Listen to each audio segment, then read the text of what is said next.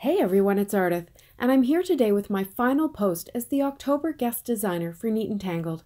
It's been a blast, and I really want to thank the team for inviting me to do this. Today I have a snowflake card that I made using the Flower Medallion Builder set. That's right, a snowflake, out of flowers. I love using stamps in different ways, and a set with a bunch of different solid pieces is perfect for playing with in a new way.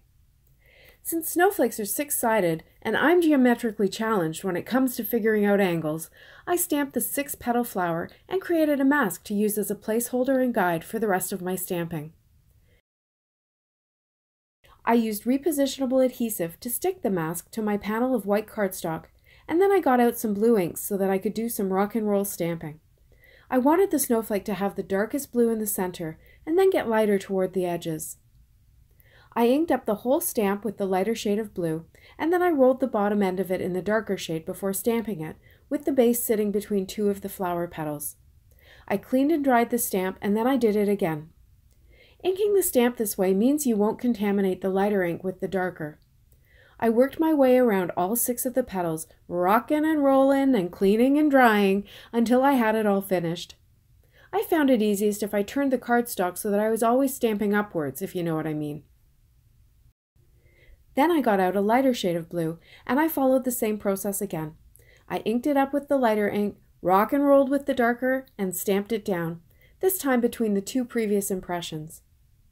Now I personally think that snow needs to sparkle, so I got out some embossing ink and I inked up the stamp and overstamped all 12 of the blue impressions.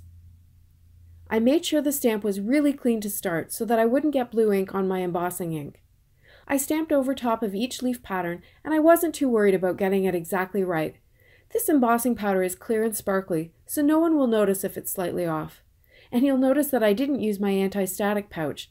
Again, I figured any stray sparkle would fit right in on this card. I sprinkled the powder over the snowflake and heated it until it was all melted. You can see that it really sparkles. I chose a sentiment from Berry Mary. I almost always stamp my sentiments in black, but I decided this time to tie this sentiment to the snowflake by using the same dark blue ink and embossing it as well. Again, I made sure the stamp was very clean before using the embossing ink, and this time, because I used my MISTI, I knew that it would stamp exactly in the same spot. I poured more powder over the sentiment, and then I heated it in my foil-lined shoebox lid. To give this card something a little extra, I grabbed the lightest blue ink and a blending brush, and I very, very lightly blended along the edges. I pounced the brush in the ink and then took most of it off on my craft mat before blending onto the very edge of the panel. Rather than getting more ink from the ink pad, I tried just picking it up from the craft mat. At this point of the process, I really didn't want any blending bloopers. To finish the card, I popped the panel up onto a white card base with foam tape and I added a few sparkling clear confetti sequins. It really didn't need much more.